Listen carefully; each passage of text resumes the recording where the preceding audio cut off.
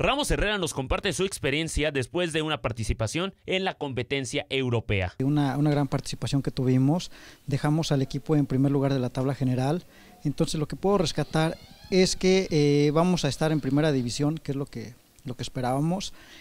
Se abrieron las puertas para más mexicanos que, que van a ir a competir, de hecho una mexicana va a estar ahorita en el mes de, de mayo y junio, va a estar entrenando y compitiendo por allá. Los próximos compromisos del duatleta veracruzano Ramos Herrera serán el Campeonato Mundial en Canadá, el Campeonato de Largas Distancias a celebrarse en Suiza, además de una fecha del Grand Prix de Francia. Tengo el Campeonato, campeonato del Mundo que va a ser en, en agosto en Canadá Posteriormente tengo el Campeonato Mundial de Largas Distancias en Suiza, la primera semana de septiembre, y la segunda semana de septiembre nuevamente regreso a la final del Grand Prix de Francia. Entonces, pues estamos realmente cargados.